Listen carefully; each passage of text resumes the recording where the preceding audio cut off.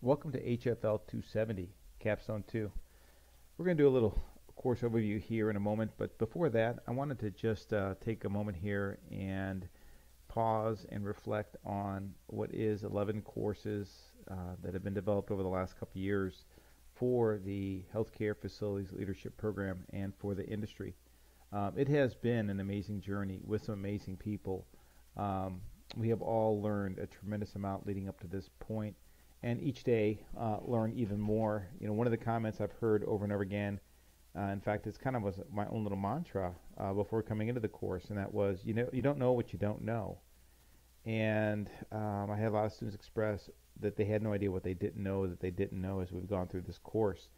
It has been a great journey. Uh, we have learned a lot together. Um, it has been a pleasure assembling these courses, and now going back and doing re, do iterations on these courses and introducing these courses to instructors who are now starting to make iterations and improve on them. Um, I, it is my hope that over these uh, 11 courses, for those of you who've taken all of them, um, that you know you have seen the layers come together, the foundation be put in place. As a matter of fact, I know that after speaking with several of you, um, you have truly um, experienced, um, been able to apply this to your experiences in your in, in your in your jobs, and you you have let me know just how valuable the material has been in so many ways. Um, some of the most amazing things I've heard over the semesters has been how your networking and your relationships have grown. How when you're in meetings, you're so much more aware of what the discussion is about and how you're more engaged in the discussions um, which is truly uh, that's the exclamation point on this on this program. That is leadership and growing in leadership, which I've been able to observe and see um, through these semesters and through these courses and through you.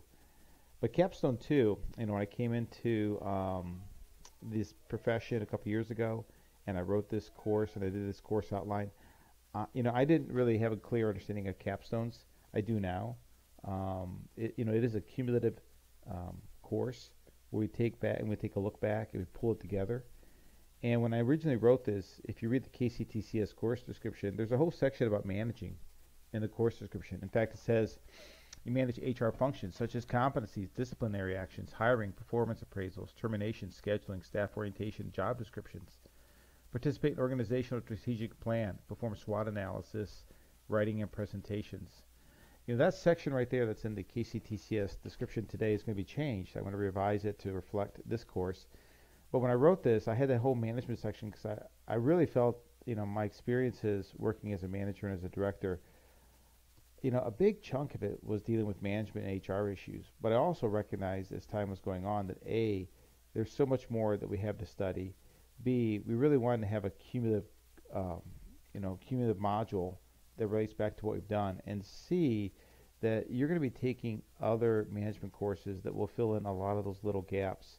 And, uh, you know, maybe again in a bachelor's or master's program, uh, can spend more time on those issues because truly, when it comes to competencies and disciplinary actions and hiring and performance appraisal and termination scheduling and all that, there's a wealth, a wealth of information that could be shared in those areas. And I'm not going to say this necessarily specific to healthcare, um, because those things are, are specific to many industries. But I can certainly say that my experiences in healthcare as a manager, as a director, that those items have, were, were big. They loomed large in my job, the years I was doing the job. However, those can be handled other ways. Uh, we've replaced it with a, a, a different module that we're going to go over. We're going to go over with you in just a little bit. But again, HFL 270 Capstone, it has been a great journey. I'm so glad that you're here and taking this course. I look forward to your feedback as we go through this course. Um, you know, and I, I just, again, I, I, think that the foundation that we've laid here and that you've helped me lay is not just going to benefit you, but I truly believe it's going to benefit those that have come behind you. Um, and I think that's the exciting part. I get the sense that, you know, you are part and we are part of a legacy thing here that is going to be built on whether it's you know whether it's even many other programs stand up. This may not be the only program like this in the country um, in due time uh, if the demand is there. And however, you know it's the foundation stone I think of a lot of the future for those coming into the industry. And it also definitely is the future for a lot of young people coming in. There's going to be these young folks coming in. They're going to need to be mentored.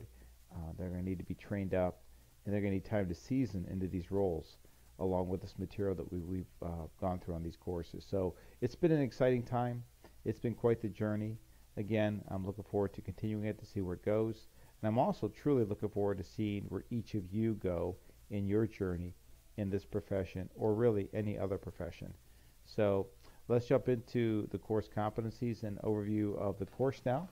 And again, like I said, I, I, it's been a pleasure for me of putting this together, and I hope it's been um, enjoyable for you going through it. HFL 270, Capstone 2. And I just want to touch on the course competencies and objectives.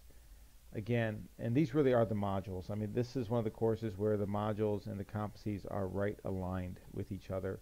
Call that experience. Um, I think hindsight, again, being 2020, haven't done all these courses. I would have done every course this way had I known what I know now then. Um, but it took me a cumulative of experience to get to the point where I, I now understand, you know, building my syllabuses and building some of these fundamental documents need to intertwine tightly with the course itself. And it makes it actually a little easier to design the courses when they do. Um, but some of what I was doing was somewhat um, fragmented. But in this case, these competencies are tied right to your course modules. Um, you know, the first section there, understanding how skill set is applicable in related healthcare management roles. And then I, I go on to, to list them out. Um, in a little more detail, express understanding and performance measures for related healthcare management roles such as biomedical engineering, environmental services, protection services, emergency management, and safety officer. And so in the first module, what we're going to do is uh, we're going to take and we're going to get dive into these a little deeper. We've touched on them. We certainly have. We came to the Joint Commission standards and, and we came to some of the other things. But now what we're going to do is we're going to go deeper. We're going to sort of put ourselves in those roles, in those jobs, and we're going to come up with a much deeper understanding of not just what are those jobs about, but also if we were directly responsible for those folks, how would we measure, if you will, as it relates to a balanced scorecard, how would we measure their performance, their quality, their service, their work life, their finances?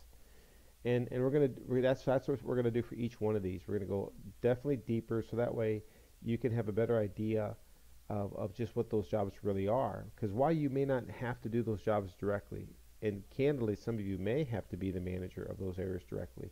I, I can be candid, I was the manager of every one of those areas except for environmental services. Um, I always had a supervisor or manager uh, between me and staff in that area. But all the other areas, I definitely was directly the manager. If there was an absence of a manager, or an I was an interim role, and sometimes these interim roles lasted quite a while, or it was permanently that role.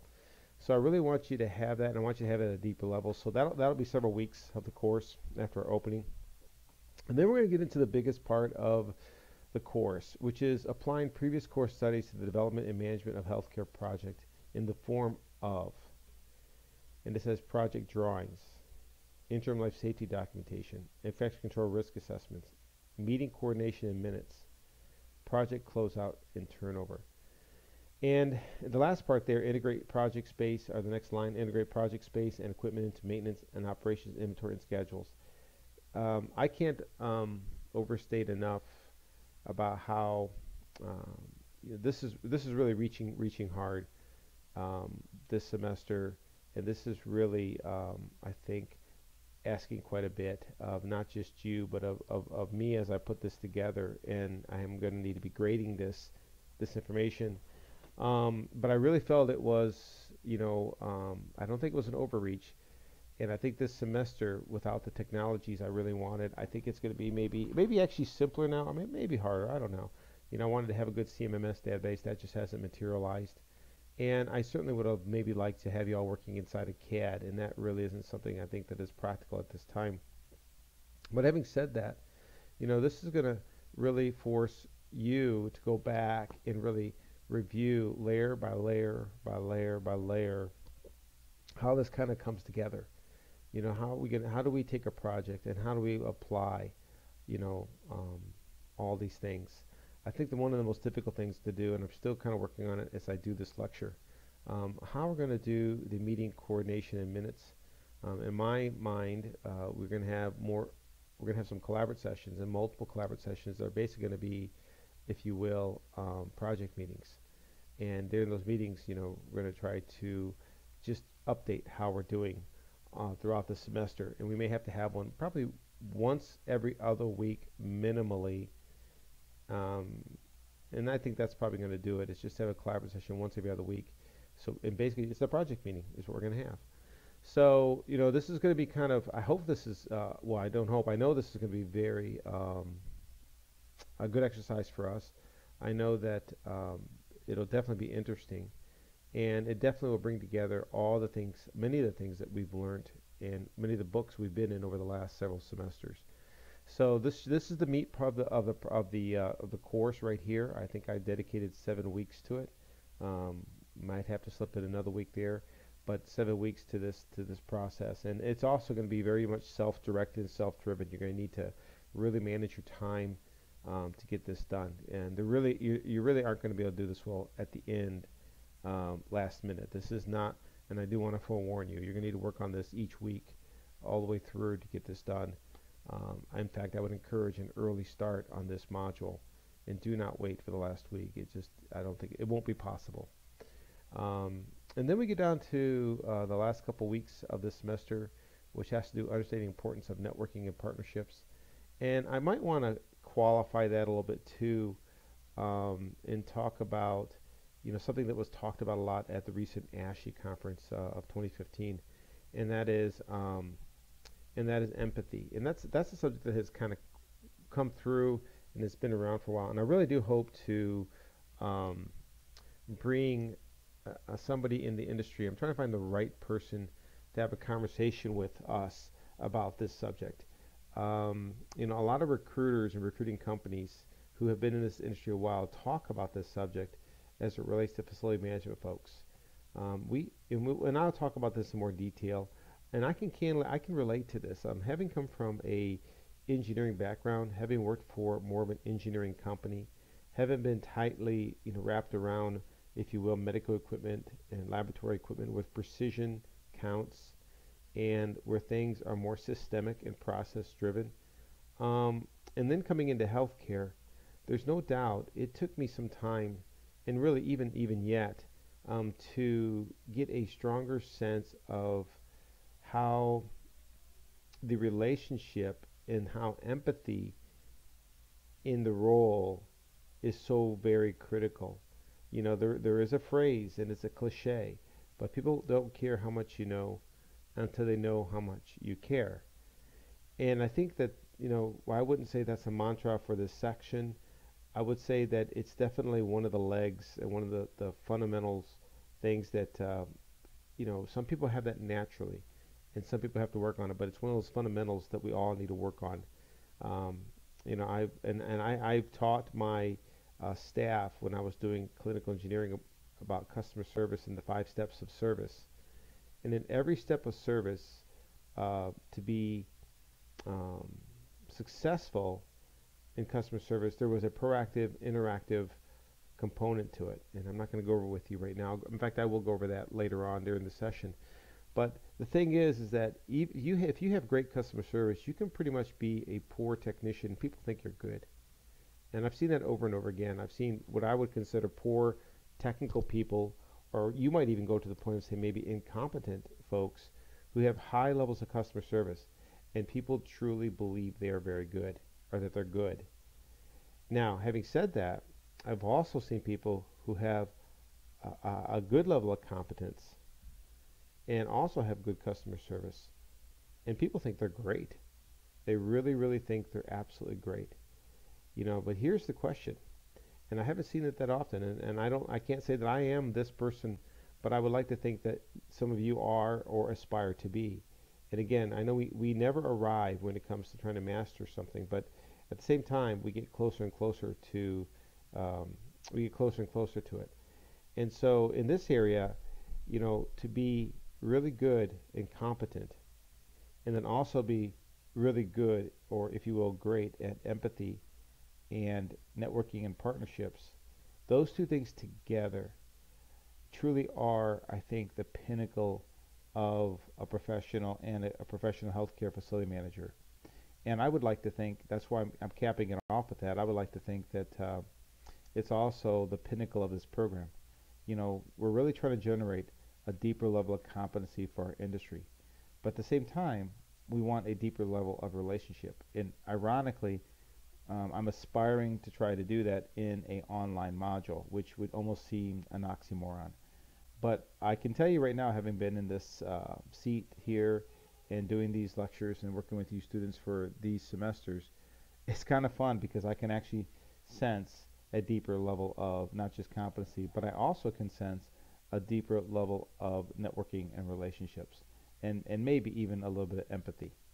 So, um, you know, that being said, that's an overview of the courses. There is a final test or exam, and um, this final test and exam we're going to do is going to be, we're going to end the semester, unlike most of you who've been in these starting classes, uh, haven't experienced much before with a final.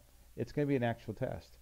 Um, it's going to be a CHFM-like test that's going to require you to go back and pull all your books out and your research, and um, it's going to challenge you. It's going to challenge you because, you know, most of you either have or aspire to have your CHFM from here.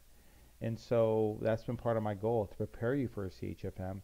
And this test I'm going to give is, again, going to be a CHFM like test so that you can have even more confidence maybe leaving this program with your experience if you have enough years to um, you know sign up and take take the test like some of you already have. And some of you who have been in this course in fact even by now by the time you're taking this you have taken the CHFM and many of you who've taken in fact all of you who've taken it have commented about how valuable this course was for you taking the test or would have been. And so this is just again another step in that direction, in that journey. I do believe the combination of CHFM with the HFL uh, credential is going to be very, very powerful for you going forward in your careers. So, again, I hope I hope uh, you know that you all did uh, benefit greatly from um, the courses. I'm sure you did. Uh, but I, even more so, I hope that this this course, um, HFL 270, you really do see it as a capstone for all the all the great work that's been done over the last several semesters. Uh, so here we go, um, HFL 270, capstone